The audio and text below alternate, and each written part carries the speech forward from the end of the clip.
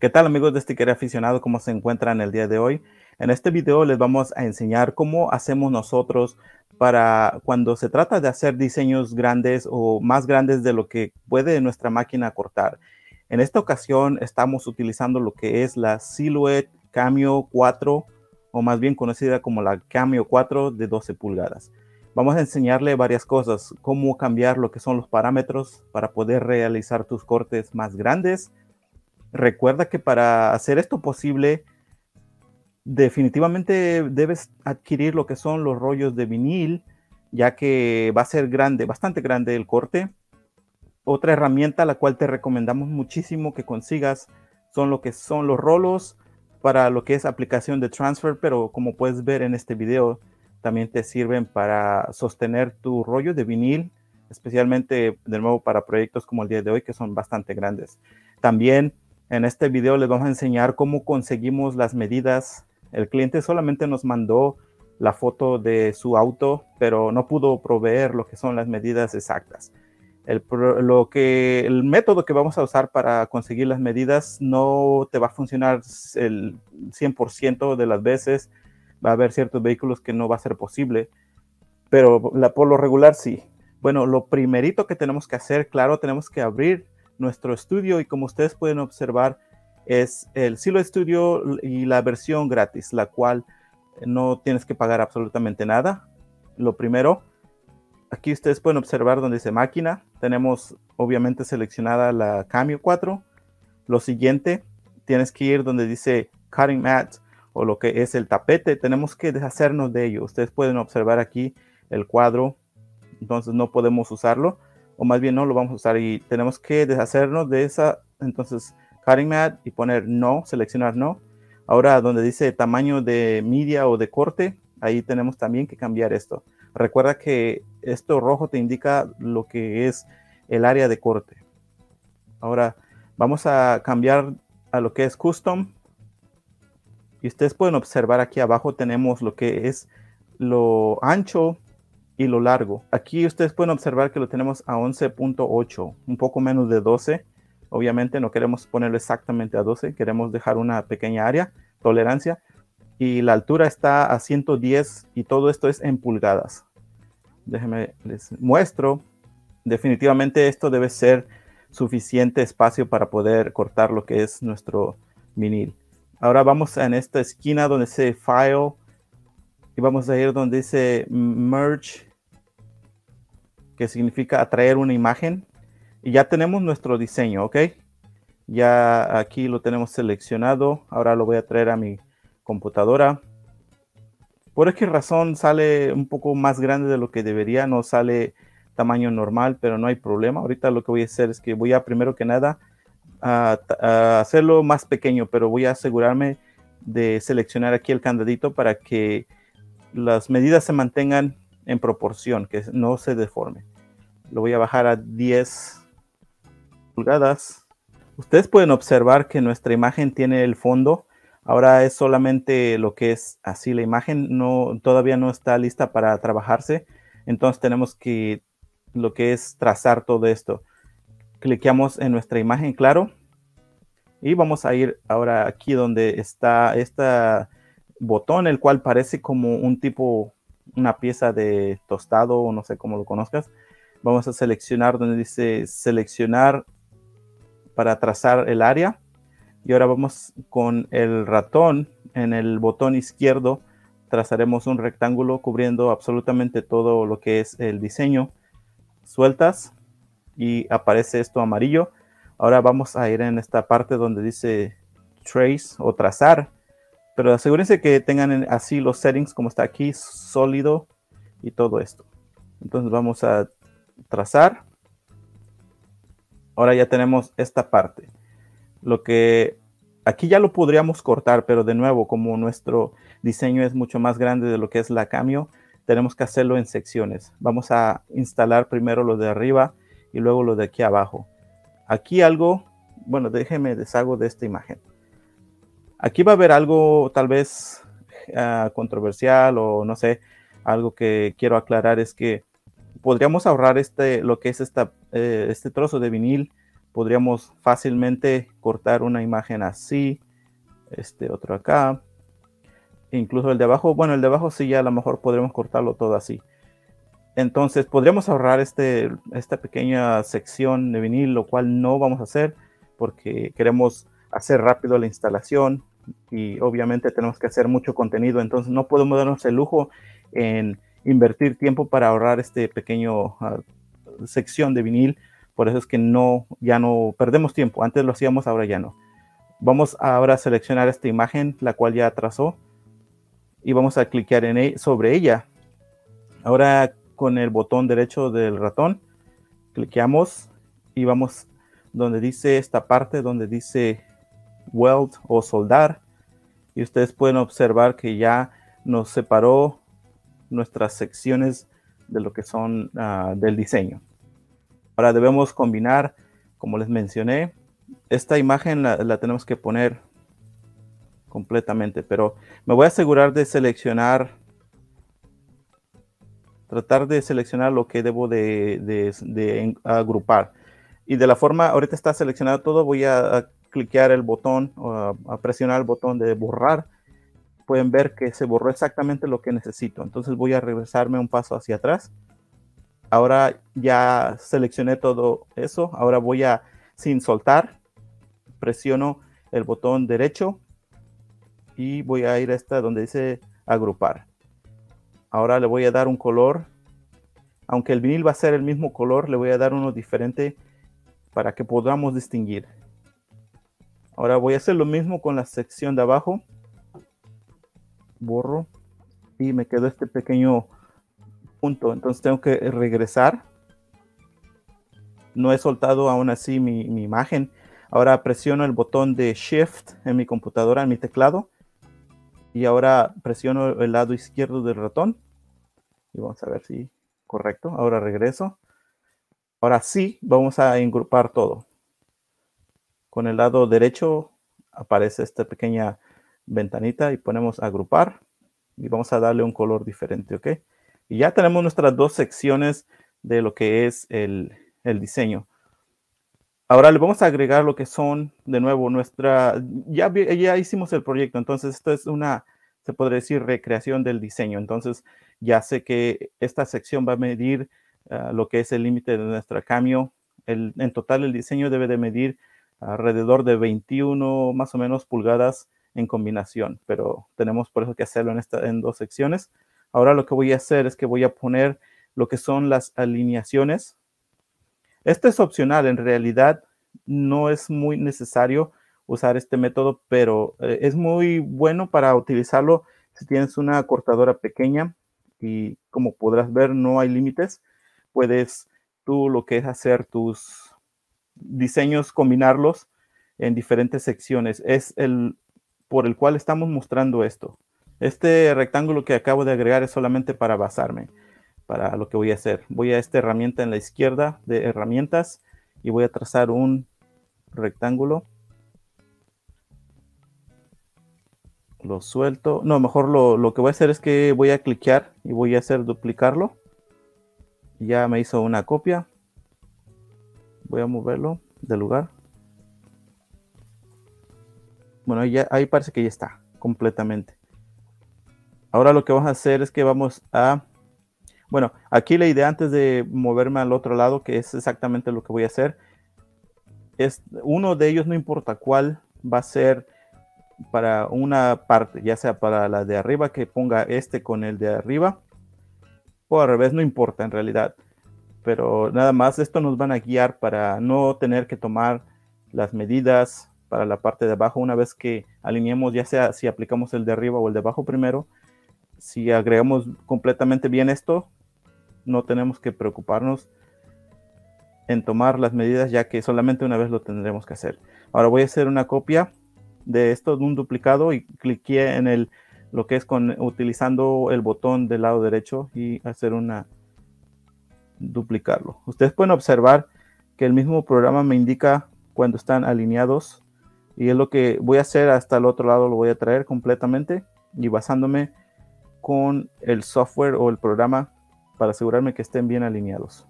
Ya, ya ahí debe de estar alineado completamente. Ahora lo que voy a hacer es que voy a utilizar, se podría decir, la alineación de adentro, que esta es la de adentro, esta es la de adentro. La voy a utilizar para la parte de arriba, la parte roja. Entonces voy a cliquear en mi primer alineación. Después presiono el botón de Shift en mi teclado. Y ahora me voy al siguiente, sin, igual sin soltar. Shift. Y déjenme les muestro. Lo regreso. Antes de soltarlo, lo que tengo que hacer es tengo que agrupar esta imagen con mis alineaciones. Ya está agrupada. Vamos a darle todo rojo. Ahora voy a repetir el mismo paso. Voy a hacer lo mismo con este cliqueo. Luego en el lado azul, en el color azul, perdón. Después con el mismo botón de Shift selecciono la otra alineación y voy a hacer lo que es grupar. Ya tenemos listo lo que son nuestras alineaciones. ¿Y por qué motivo hacemos alineaciones? A veces lo que son los registros, usualmente los aplicamos uno encima del otro. Eso significa que si el diseño fuera como exactamente como esto, rojo y azul, sería fácil alinearlos ya que son diferentes colores, hacen un contraste, pero en cambio como estos son color negro, va a ser, todo va a ser un color negro. Entonces es difícil mirar exactamente dónde podrías tú eh, colocar lo que es la alineación. Entonces por eso es que, o, o, registro, pero en este caso lo vamos aplicar así, solamente manualmente. Ok, y ahora ya tenemos esta sección o ya está terminado lo que son las alineaciones. Ahora, algo que les voy a decir es que el cliente nos mandó la imagen, pero no pudo proveer de nuevo lo que son los tamaños, las medidas, y solamente quiere para la parte trasera. El proceso que vamos a, usar para adquirir nuestras medidas es exactamente lo que puedes tú utilizar para cualquier lado. Entre más información tengas sobre el vehículo, es mejor. Obviamente, si puedes eh, tú tomar las medidas o el cliente te las manda exactamente, es mucho mejor, pero para una, en caso de una emergencia, este te va a servir. Y también estoy seguro que ustedes saben que el cliente te manda luego imágenes las cuales no te van a servir, que están en cierto ángulo. Esta es nuestra imagen y como ustedes pueden observar está en cierto ángulo. Entonces tenemos que nosotros conseguir una misma imagen de lo que es de nuestro, de Internet, de Google. es la herramienta que vamos a utilizar el día de hoy. Entonces ya tengo la información del vehículo, ¿ok? Ahora vamos a abrir lo que es Google. Esta es la información del vehículo, es una Ford Transit 150, una van y le, ah, claro, le puse aquí la, que necesitamos la parte trasera, ¿no? De los lados. Y entonces nos vamos aquí donde dice imágenes, ya que tendrás mejores resultados. Puedes ver diferentes como este de ángulo, igual de ángulo y sobre todo que es diferente al que nosotros vamos a trabajar entonces estas son las mejores opciones que tenemos, pero vamos a seleccionar esta. Recuerda que no tienes que bajar tu imagen a tu computadora, solamente cliqueas en el lado derecho del ratón y haces copiar la imagen, copy image, y vas a tu programa y la traes la imagen. Entonces de nuevo, esta, esta la voy a eliminar porque no nos va a servir. Ahora vamos a traer la imagen de nuevo Ahora lo que tienes que hacer es de nuevo regresar a Google y meter, así es como nosotros metimos Ford Transit 150 dimensiones. Y como les mencioné, entre más sea la, información que tú adquieras del, bueno, del vehículo es mejor, ya que hay diferentes tipos de diseños. Por ejemplo, está lo que es la versión crew, la versión cargo, pero afortunadamente son las mismas. Entonces aquí de nuevo, como va a ser la parte de atrás, la W es lo que es lo ancho y la H es lo alto. Entonces estas son las medidas 81 y 82. 82 representa de nuevo lo alto. Y vamos a hacer con nuestra imagen que agarramos de Google, voy a hacer un pequeño rectángulo.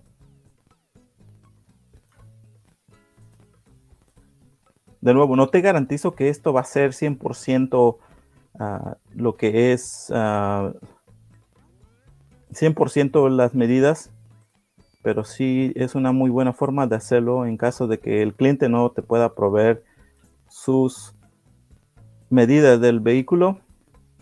Y vamos a hacerlo lo más pegado posible para que el tamaño sea lo más cercano posible de lo que recibamos.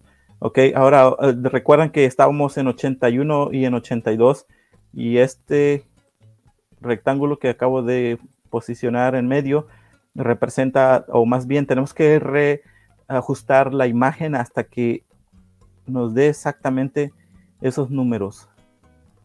Me les enseño. Aquí ustedes pueden observar es 10.2, menos de 11, y aquí también está 10 todavía. Entonces tenemos que ir ajustando lo que es nuestro tamaño hasta que esas dimensiones o esos números concuerden con lo que las dimensiones que nos da en Google. Déjame la voy haciendo cada vez más grande y ustedes van a observar que obviamente el rectángulo va a ir creciendo en dimensión. Ya estamos en 16, 16 y cacho. Entonces es, de seguir haciendo esto hasta que tengan los números correctos. Ya tenemos lo que son nuestras medidas, ya reajustamos, ya son muy cercanas, 82 y 81.22 y de nuevo hay que mantener eso en mente, ¿ok? Vamos a eliminar ya lo que es el rectángulo, ya no nos sirve. Ahora sí ya podemos traer el diseño y vamos a irlo reajustando. Algo también que les quiero decir es que de acuerdo a lo que es la superficie, superficie es como vamos a ir acomodando nuestro diseño. Por ejemplo, aquí pueden ustedes observar que el, lo que es el logo, el diseño lo metimos aquí en el lado izquierdo de arriba, eh, los servicios y lo que es estimados gratis y el teléfono, porque así es como es nuestra superficie, entonces es la mejor forma que encontramos y sobre todo que lo que el cliente quería invertir en el, en el diseño, no quería lo que era todo a través del vehículo, solamente quería en la parte trasera. Y está bien, ahora sí que nosotros tenemos que irnos adaptando a lo que el cliente pida.